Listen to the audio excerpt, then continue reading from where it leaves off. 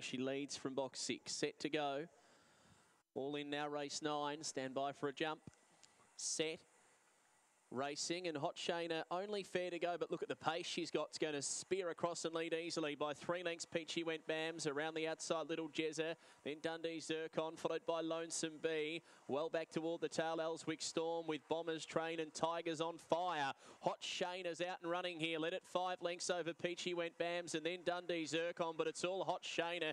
Ping the leads and she'll run them ragged. Hot Shana by three lengths to Peachy went Bams, third Dundee Zircon, and then Lonesome Bee.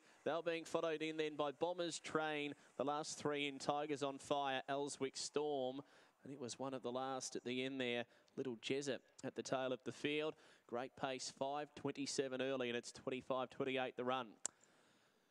Well, she did take probably a stride or two. She wasn't brilliant.